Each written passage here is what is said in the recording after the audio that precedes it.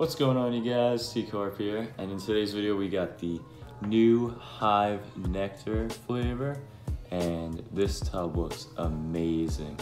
I really like the design on this, and I believe it's supposed to taste like honey, and I'm pretty excited for this flavor, because I like honey stuff. But uh, anyways, let's get a good scoop going.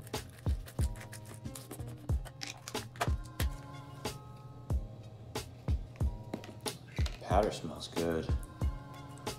smells like traditional G Fuel flavors. no chili dogs powder.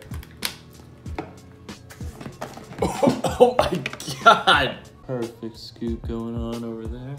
And of course we got the moon pie shaker cup so that we can see the color of this flavor. So we got a perfect 500 milliliters of water and I don't know if this is because of my shaker or what, but it like bubbled up, which looks kind of cool. Let's get a taste going.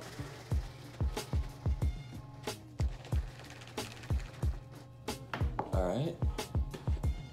And yeah, it did the same thing as it did before. Oh, it's like foaming up like crazy. It looks cool. It smells amazing though. It smells very sweet. Like some type of candy. I don't know if it exactly smells like honey though. All right, let's give it a taste.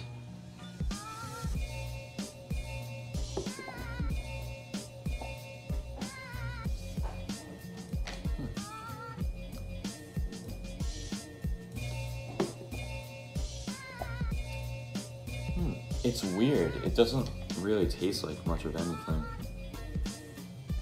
It just tastes like sweet. It kind of reminds me of like the twisted candy flavor, kind of candy like.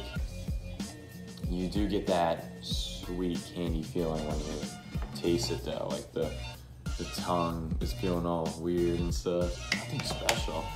You guys can see the foam too in there. Yeah, I mean, it doesn't taste bad.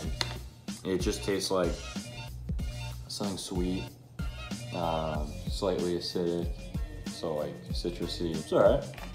Anyways, what would I rank this? I would probably rank it a, a seven out of 10. It's not bad. It's got a bit of citrusy to it. It tastes kind of like a candy flavor, honestly. Pretty good. Anyways, guys, hope you all enjoyed. If you did, be sure to show me some love. Hit that like button down below, and I'll see you in the next one.